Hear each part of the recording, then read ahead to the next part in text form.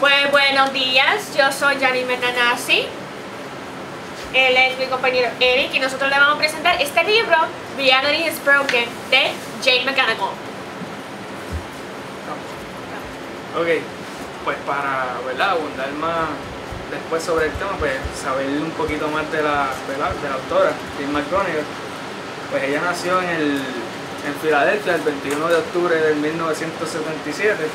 Es una diseñadora de juegos y escritora estadounidense, defensora del uso de la tecnología móvil y digital para canalizar las actitudes positivas y, la colaboración en un contexto del mundo real. Eh, recibió su, su título de bachillerato en inglés por la Universidad de Fordham en 1999 y su, y su doctorado en estudios de funcionamiento por parte de la Universidad de California en Berkeley en el año 2006. Después de obtener su bachillerato en inglés, ella comenzó a desarrollar sus primeros, videos, sus primeros videojuegos comerciales. Después de obtener su doctorado, ella continuó desarrollando videojuegos.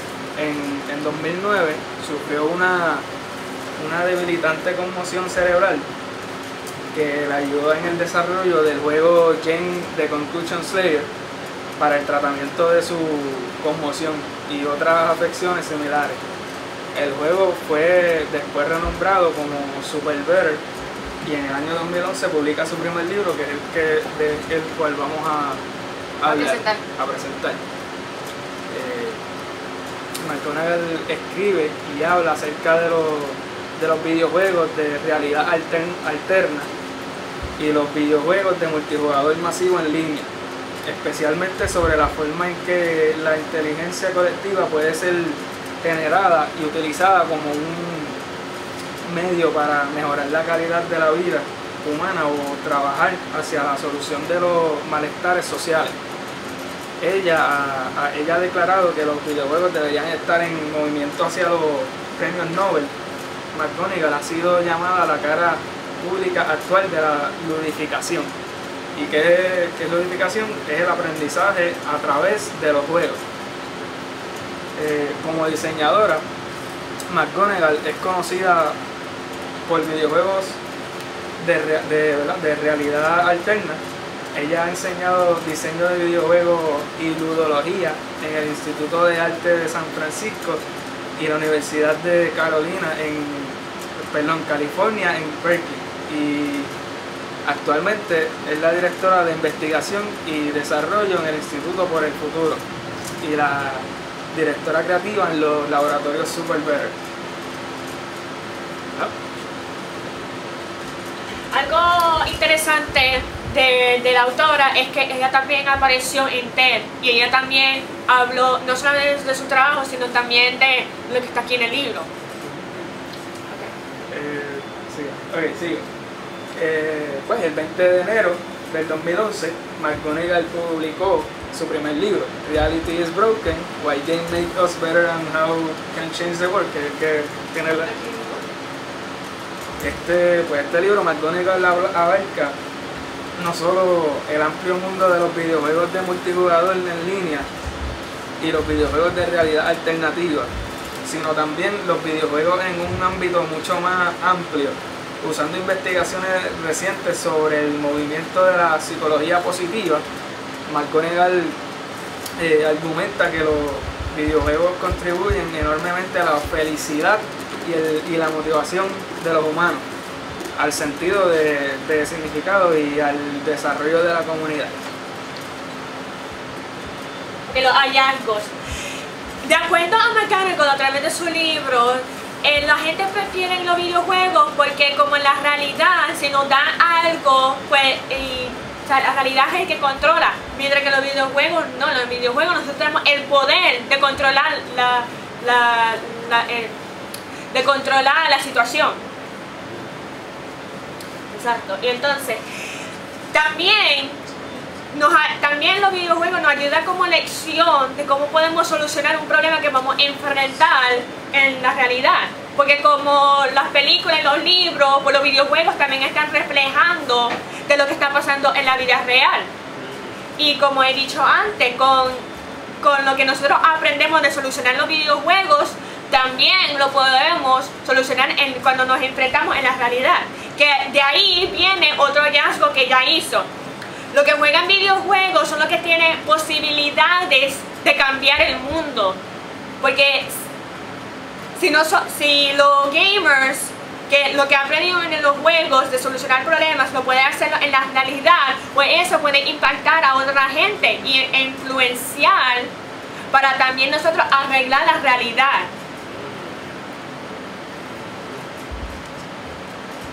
Bueno, temas tratados en el libro, pues un tema principal en la web, el tema principal de Jen es en el libro es tratar de hacer tan fácil salvar al mundo en la vida real como lo es en el mundo de los juegos online. ¿Qué pasa? Que hasta, esto es un dato. Actualmente pasamos 3 mil millones de horas por semana jugando juegos online. Lo cual ella descubrió en una investigación que ella hizo en el, en el Instituto para el Futuro, que esa cantidad no era suficiente para hacer un cambio positivo en el mundo. Y ella calculó que con 21 mil millones habría un, resultado bueno. Así que si queremos resolver problemas como hambre, pobreza, cambio climático, conflictos mundiales, eh, obesidad, tendríamos que aspirar a jugar online 21 mil millones de horas por semana. De nuevo, lo que yo, lo que yo dije, de que los videojuegos, especialmente lo que ellos están creando, son los que están basados en la vida real. Y nosotros pues tenemos, a través de los juegos lo podemos solucionar. Uno de los temas es el triunfo épico, que es, que es el, porqué de ella pensar que, que los juegos son esenciales para la, supervivencia futura de, de la especie humana. Es la emoción de jugar. Está el sentido de urgencia, un poco de miedo, pero concentración intensa para abarcar para abordar un, problema realmente complejo. Es esa expresión en la cara que lleva un signo de optimismo y sorpresa. Y ahí es cuando vives un triunfo épico, que también es un, resultado tan brutal de positivo que no, que no sabíamos que era posible hasta que lo, que lo logras, casi más allá de lo imaginable. Y cuando llegas a, ese, a eso, te sorprendes al saber de lo que eras capaz. Eso es un triunfo épico. Ese es el, rostro que Jen anhela ver en millones de, de resolutores de problemas en todo el mundo a medida que sorteamos los, obstáculos del próximo siglo. El rostro de, alguien que contra toda apuesta está al borde de un triunfo épico. Otro tema es que, que hay cuatro puntos en los cuales los jugadores se hacen virtuosos. La primera es el optimismo urgente, es como una automotivación externa en el deseo de, actuar inmediatamente para sortear un, obstáculo caminando, combinando con, lo, con la creencia de que tenemos una esperanza de éxito razonable. Los jugadores siempre creen que es posible un triunfo épico y que siempre vale la pena intentar y hacerlo ahora. No están sentados sin hacer nada.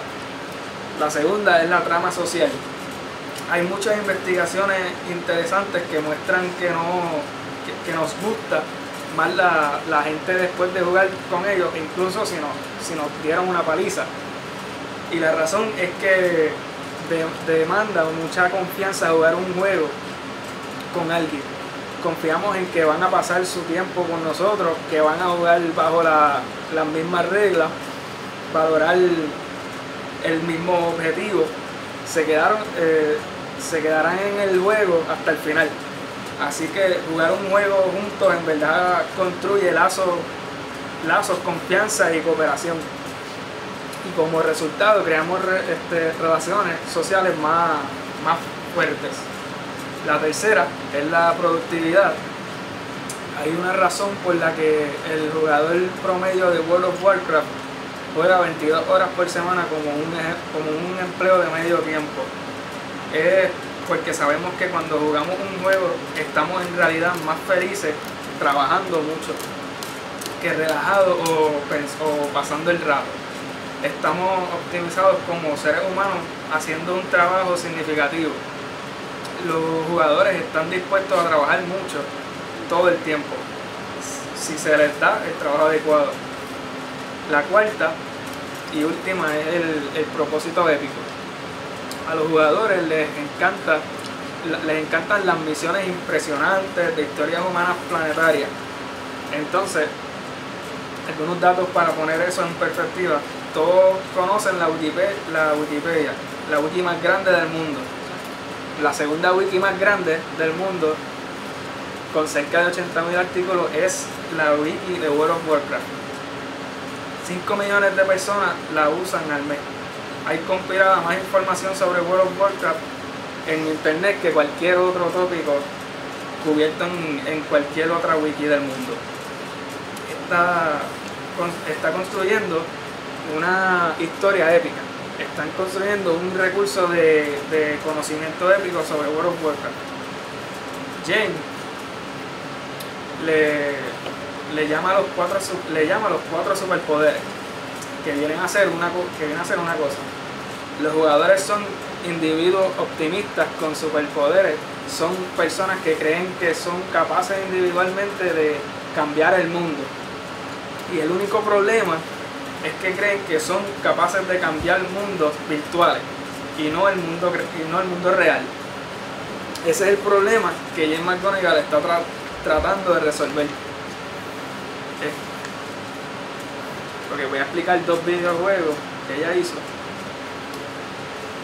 Que es un invento, que son un, son un intento de poder darle a la gente los medios para crear triunfo épico en su futuro.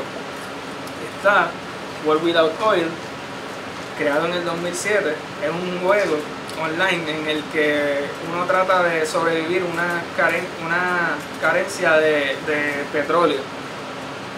La carencia de, petróleo es justicia, pero pusieron suficiente contenido online allí para que crean que es verdad y vivan sus vidas reales como si se hubiera acabado el petróleo.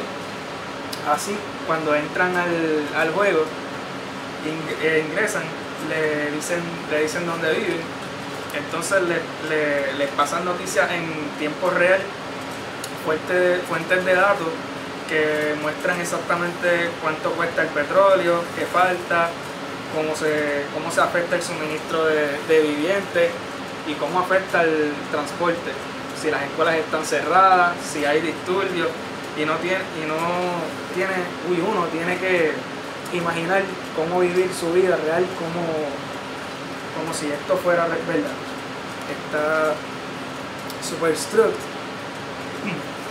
La premisa es que una supercomputadora ha calculado que los humanos le quedan solo 23 años en el planeta. Esta supercomputadora se llama Sistema de Alerta de Extinción Mundial. Le dicen a, los, a las personas que, que entren online, forman un equipo ideal y y es tu objetivo inventar el futuro de la energía, el futuro de la comida, de la salud, el futuro de la seguridad y de la red de seguridad social.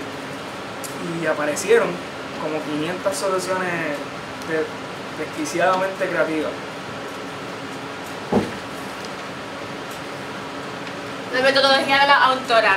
Alguna de las metodologías que se ha descubierto es que la mayoría de las personas, que todas esas personas, la mayoría es en los Estados Unidos, que estamos bien pegados y bien accesibles a los, a, los videojuegos. De hecho, hay gente que ni siquiera pensamos están, están pegados y están interesados también de jugar videojuegos. Todo el mundo obviamente sabemos de que los adolescentes son los que más están pegados a los videojuegos. 97% de ellos son los adolescentes.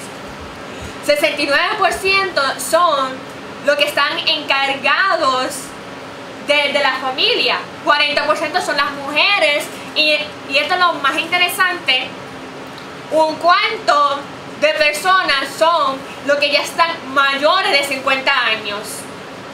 Y lo que también está sugiriendo y dice también la, la, autora es que ya va, de que los que no están jugando videojuegos ni, es, ni siquiera están interesados, pues más vale que ya se tienen que empezar desde ya de jugar videojuegos porque sooner or later, ¿sabes? más tarde o temprano y eventualmente los videojuegos van a dominar el mundo y eventualmente todos nosotros, o sea, todas las personas de cualquier edad van a ser gamers.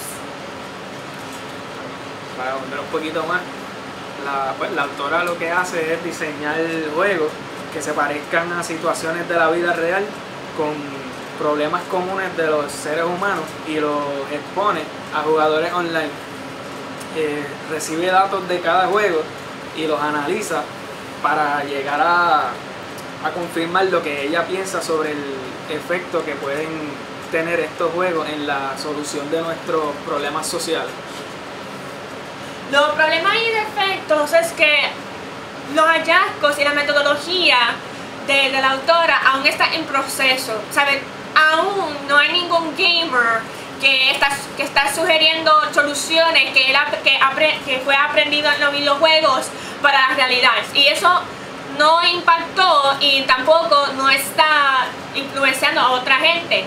So, en eso todavía está en proceso y de lo que se está entendiendo es que aún no, no se están dando cuenta que ellos pueden cambiar el mundo y también se están, lo, lo están manteniendo solamente en los juegos, porque otra vez en los juegos ellos pueden controlar, mientras que la realidad no, y eso ellos como no se dan cuenta aún.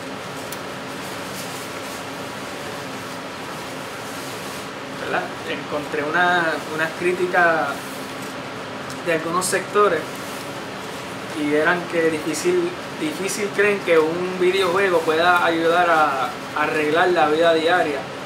Presenta declaraciones exageradas tomando ejemplos menores.